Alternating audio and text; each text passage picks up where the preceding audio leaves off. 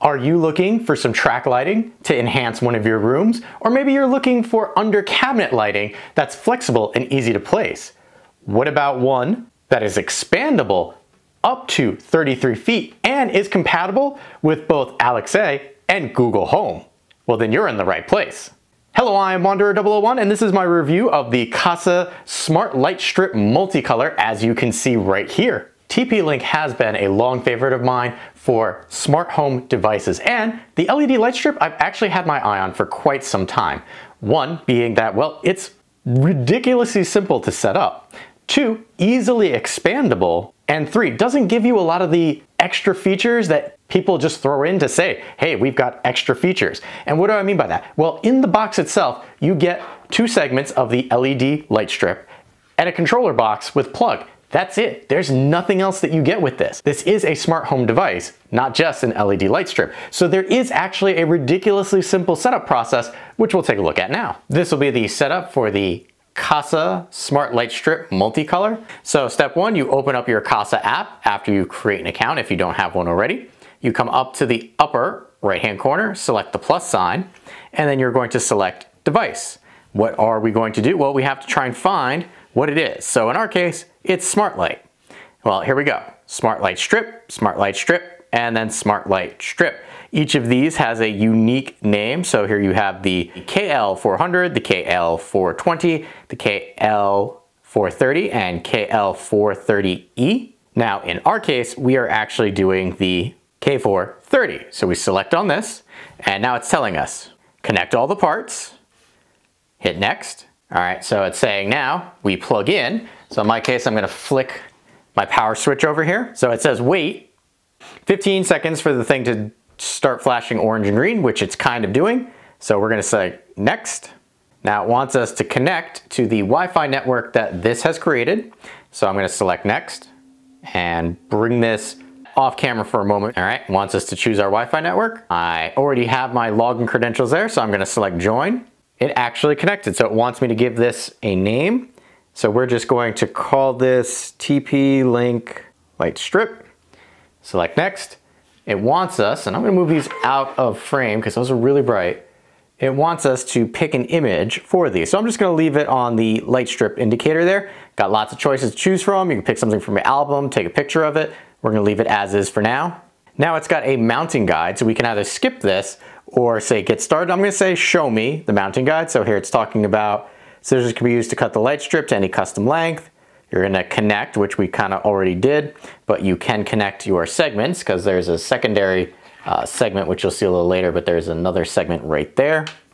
And then letting you know where it is safe to actually cut and then peeling the 3M tape off of the back of your LED strip. And then here is your control module which also has a little 3M behind it. And then we're gonna select all set. And congratulations, you're done. So we go, sounds good. And now, as with many things, there is an update that must be done. And actually just two minutes later, the update is complete. As you saw, ridiculously simple to set up. Powering and controlling this LED light strip, you get a control box with a just shy of six foot cable, as well as a power brick right here that's a little on the chunkier side and has only a 19 inch cable. To me, uh, this is one of the shortcomings for this particular LED light strip combo because it just doesn't feel like between the controller box and the power source, there's enough actual room because you have to have your power source 19 inches away from the controller box. Because if you're not going to be using the app or voice commands via a different system, uh, this might be a little bit on the shorter side. It is not a total deal breaker, but I just want you to be aware of that shortcoming, no pun intended. Here we have the controller box. This is going to act as the Wi-Fi access point for the LED light strip so that you can do all the fancy things that you can do with it. But as far as the controller box goes, you just have your power port up there for the plug and then the part that attaches to your LED light strip. There's a big button on the front of it which just you press and it turns the LED light strip on. You press again and it turns the LED light strip off. There's no double tapping to cycle through any of the functions of the light strip. It's a simple on off. On the back of this, you do have two 3M sticky areas that you can affix this to a wall if you wanted to, but we're gonna move down to our light strip. For starters, with our LED light strip, you get a 3M adhesive sticking on the back of it, as well as each of the junction points does have a bit of 3M sticky tape on it to make it easier to affix into place. This does not come with any mounting hardware except for this. You can pick up other types of mounting uh, for this if you wanted to, but they do not come in the box. Uh, right up here in the front, this is one of their easy connector points, uh, which I do really appreciate so you don't actually have to pick these up separately and get them attached to the LED light strip. They already come pre-attached. If you get other TP-Link LED strips, they'll just connect up into this. You also have the ability to cut this to size. Right here, this is a cut indication, meaning if I want to make this shorter, I can cut right here. Each segment is made up of six LED nodes, and I say nodes because while this one right here is red, there's actually a second LED right next to it. These red LEDs are actually RGB LEDs, meaning that they consist of red, blue, and green to make several different color patterns. The one next to it is actually a pure white LED node, which unlike some other ones that I've tested in the past, allows you to have better color control for whites. It also gives you the ability to have up to 16 different color zones per LED strip, also giving you the ability to have millions of color combinations as TP-Link says. You have a total of 96 individual LED nodes throughout the entirety of this particular light strip. And by that, I mean the two connection points, giving you a total of 6.6 feet of LED strip in the box because it already comes with two connected together. Bringing our LED light strip closer to the camera, you might see that there's a little sheen here, and that actually is a rubberized epoxy coating that is on the top of this to help protect the LED bulbs. That also means that, well, it might be a little obvious that a cat kind of rolled on this before my filming. Uh, it does collect dust and hair. That's not to say that that is a bad thing, but it is just something that you're going to need to be aware of. Another thing that I consider with anything that's light oriented is, well, how warm does it get? Well, turning these up to maximum and white to make it as hot as I possibly could, I left it for about 30 minutes just to see, and then I came back and ran my hand uh, across the LEDs, and it's actually barely noticeable to the touch. If you're looking for a maximum lumen out of this, you're looking at 1400 lumens total. I've just been having this sit on red. That does not mean that it's the only color that you can do. As I said, this is RGB and there's a white LED node, but all of the fancy things that you can do with this, including color control, are all done through the application. Let's actually take a look at the application. This is the application for the TP-Link Kasa Smart Light Strip multicolor. Here we can see I actually have it right up here at the top under lights. I do like that this is a new look and feel for the Kasa TP-Link application, kind of breaking things up where we can see my lights are here, my smart plugs are all there, and then a smart switch there. So they kind of break things up together, which I like. And then they actually have a favorite, so that's gonna be your most selected devices there. Right here we have our TP-Link light strip. You can see that it is off, uh, it is part of my home network. And uh, right there it even shows if it was on, it would indicate what is going on right there. So it would show you your brightness and so forth. Uh, clicking into our TP-Link, here we can see this is big old button turn it on, turn it off. There's a nice animation that happens letting you know, hey, something has been turned on. Up here, this is what I'm gonna call, and I incorrectly kind of label this uh, later on since behind the scenes, I don't film these in order. Um, this is not actually to segment your light strip. However, it is to have quick launch for color and brightness. So you can pre-program a bunch of different ones up there and simply tap on them instead of having to come through the color wheel, set your brightness and color. You can set a bunch of quick launches right from the top there. Uh, but we're gonna come back to our power. Here you can see it is letting me know color and then it's on 74% brightness. If I were to come into my effects very quickly and I'm gonna set an effect just so I can show you, right here it will tell you the effect name as well as the brightness of whatever you have going on. Right here we have our brightness. So if I select this, it is a sliding scale from, from 1 to 100%. So you could do anywhere in between that simply by dragging and dropping your indicator. Next we have our weight. So this will allow you to, if you're just using a weight, make it a cooler white versus a warmer white. And again, this is a sliding scale. Uh, you can kind of see there, it lets you know the Kelvin number right there. So if you want to dial that in exactly to what Kelvin you'd like, you can do that from right there. We're gonna come down here to the bottom first quickly uh, before we get into the colors because I know that's what you're really interested in, but we're gonna talk about some of the other things that we can do. Effects will be discussed when we talk about our colors because there's kind of pre-programmed color manipulation that you can do through effects. You have the ability to schedule. So I can create a schedule where I can have this turn on or off at a specific day and then I can select time. So if I'm doing a routine, let's say I want to have this turn on at 11 a.m., but I want to do that only on the indicated days that are green, I can do that and then select save.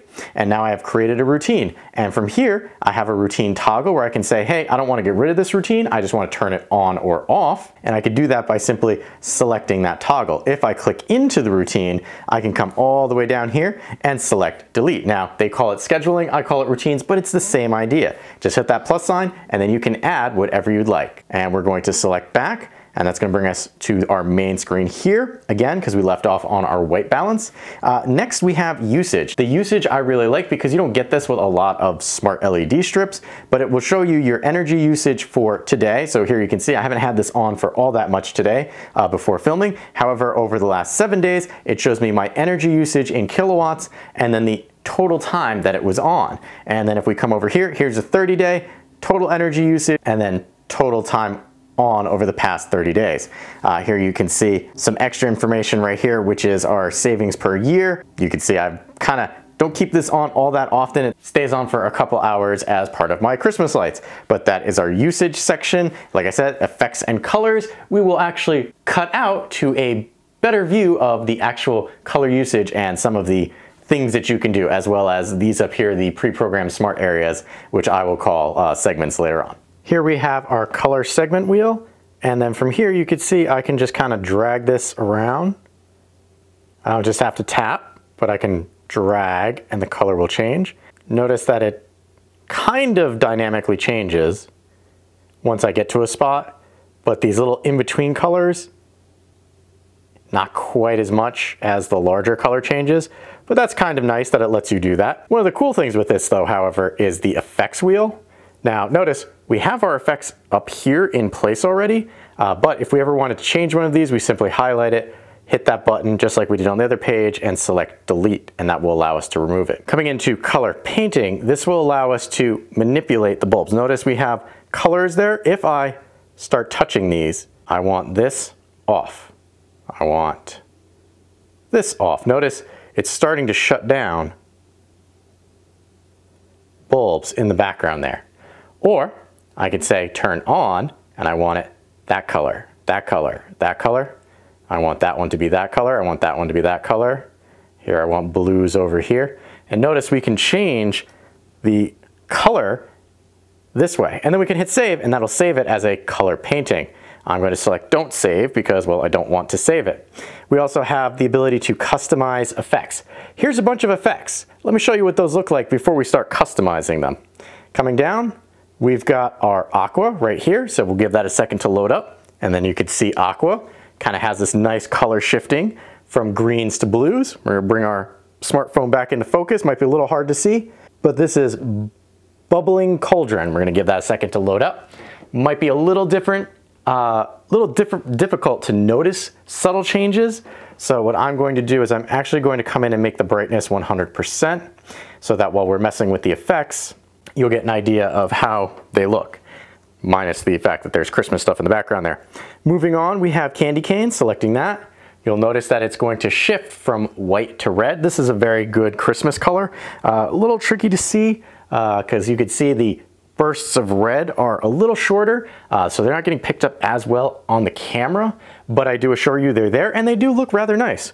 Moving along with our effects, we have Christmas. This is the one that I generally keep up because, well, it's red and green. It's a little more noticeable than the candy cane and a little more subdued, but you do see that you have a little splash of green in there, uh, ever so slightly. Moving on, we have flicker. So this is supposed to mimic a flickering candle. Again, this is another one that's a little subtler, so the camera might not be able to pick it up as well. Moving on, again, might be hard to see the screen, but Grandma's Christmas. So this is another Christmas style one. We'll let that load up. And there you see, it's, it's slowly moving along. But there is a light. And there's the other one. So what this is going to do is kind of mimic the old colored light bulbs, like the really fat ones that burn through so much electricity. And you could see that kind of based on how they look up there on my wall. So you've got an orange one, a blue one, here's a white one, and it's representing that large uh, bulb that you would have seen. Now we're gonna let that do one more and then we're gonna come along to the next effect as you see it moving across the chain there. And there we go, there's our green. Gonna bring this back into focus because the next one we're gonna do is Hanukkah.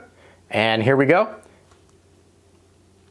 That is a representation of Hanukkah. I'm assuming it's the menorah, but I'm not familiar enough to kind of get an idea of why that is colored the way it is. Next we have Haunted Mansion. I'm gonna bring that into focus, select Haunted Mansion, and there you go. Haunted Mansion kind of has like this lightning effect. So you see it's spooky lightning, you have this kind of hidden away and it kind of adds some ambiance. You get some thunder going in there, it'd be even better. Uh, next, we're gonna come up to icicles, which might be a little hard to see with the flashing in the background, but there you go. Here's your icicles. It's a very light blue, uh, kind of shimmering a little bit. You saw that hopefully a little bit on the tips over there, but it's kind of pushing through. There you go, you can see some color waving through it. Uh, next we have lightning. So that's a little different than the Haunted Mansion because this one doesn't do it as often. So I can actually sit here and talk for quite some time before this actually goes off. And this is one of the things with this particular one that kind of annoys me is I wish it did it a little more frequently. However, in the editing function, we can change that a bit. So we'll talk one more time, see if I can get one more lightning effect in here before I move on to the next one. But that's the thing with lightning, it is very random, so you might not notice it. All right, doesn't look like we're getting another lightning effect. So we're gonna bring this back up into focus and do ocean. So here you go, ocean effect. Switches a little bit between some teals and some lighter colors, kind of wafting ocean. Coming back up into focus, we have our rainbow effect. So here you go, it's gonna throw a single color across uh, but do this in rapid succession so that you get this rainbowed effect. Coming back up, we're going to do raindrop. And there we have what raindrops look like, kind of just scattered little lights, kind of blues and whites, just dripping around. It's, it's a pretty cool thing without having to worry about strobing effects. Uh, next we have, right here, we have spring. And then spring, here we go. It's a green kind of pulsating through an orange and red, letting you see those spring-like colors. Again, Christmas motif up there, but tis the season when I'm doing this and generally when I have an LED light strip thrown across the back here. And then last but not least, we have right here, Valentine's. So selecting this, as you might imagine, is a very red background. Uh, notice though that they are throwing some whites in there to kind of give more of a purpley effect. Uh, so instead of being a harsh blood red, you're getting more of a reddish pink uh, for that particular effect. Now I'm going to leave that effect on and then we're going to come back up to our, if I can get that to focus, customize effects. Here we're going to select our lightning and then do next. So right here you can see, here is the color palette that this particular lightning is doing. And there we saw a lightning strike in the background. So this is the color palette that it uses. Uh, we can select the random color right there and select save, or I can hit next and we can change the name. And there we go, it's doing lightning effect more often because I'm messing with this. There we go. Finally get to see those effects. Probably should have set a strobe warning, but we can change the colors and I can hit save after giving it a different name so that the lightning effect could have more purples in it and things of that nature. And we're just gonna hit X uh, which will bring us back to the Valentine's one, which is the one we last left off on. So that is all of the color manipulation that we can do for the TP-Link LED strip here. Coming back into the application, that's everything that you can do to control the LED light strip. But if we come up here to the sprocket icon, if I select this, this is actually going to bring us into the settings for the device itself. So right here, first up, First and foremost, we have TP-Link Lightstrip. Uh, that is actually the naming convention. You can come in here, give it a new name. We can even come in here and select a different image if we wanted to. We can also upload an image from our camera's album or take a picture right now uh, and have that as the icon, letting us know exactly what that light strip is or where that light strip is placed. Default statuses, these are really good. So on from app, it will resort last on state. Now we can change that if we want to, uh, but we do need to have uh, presets, which we did talk about before when we were talking about the colored areas. And then light strip will go to selected state when turned on from the app on from power source, which is touching the button. And here it will come to the on state. Coming down, we have featured tutorials, device info, and then placement guide. And that's all that you really have under here. So you can control how it functions from the app and then how it functions from the button push. And then we come back. And that's really all that we can do for the light strip via the settings portion of the application. Now, if we come back, I did mention that TP-Link has recently revamped and redone their application to make things kind of nicer. Here you can see there's a routine section right up there. You also have cameras now as a separate section. I don't have any cameras. You have smart. So this is, again, smart actions. So this is a scene that I created. You can have actions, which in this case, I have one set up where if I toggle my smart switch, uh, you can check that out in the corner there, it will turn on a smart plug uh, that's over a workbench and then featured animation. So if you didn't want to make your own, you can select a scene right from here. Activity, this is going to show you everything that kind of happens. Uh, right now you can see not much has happened uh, with my activity. And then you've got an account setting right there. Uh, that little red dot there means that there is something that needs to happen. Chances are it's a firmware update for something, so you always want to make sure that you go in there and check that out. And that has been everything that can be done with the TP-Link Kasa Smart LED Light Strip Multicolor. There you saw, there's a lot that you can do with the application for the TP-Link Light Strip here. In fact, those effects are some of the more interesting things that I've seen for an LED light strip. There's a lot of customization from the application for this light strip, which I greatly appreciate. Now, one thing that I always like to do when I'm testing electronics in any way, shape, or form, including uh, light strips such as this, is power usage. Yes, you get a general power usage statement on the box, but myself, I came from a condo that everything ran on electricity, so I was very sensitive to how much power something actually used. Well, the LED light strip here, while just idling, meaning it's plugged in and connected to your Wi-Fi, but the LED lights are not on, it uses negligible amounts of power, meaning my reader could not even pick it up. Using red at 50%, because that is what uses the least amount of power I found, but red at 50% used 6 watts. Red at 100% used 11.8 watts of power, while doing white at 100% used 17.1 watts of power.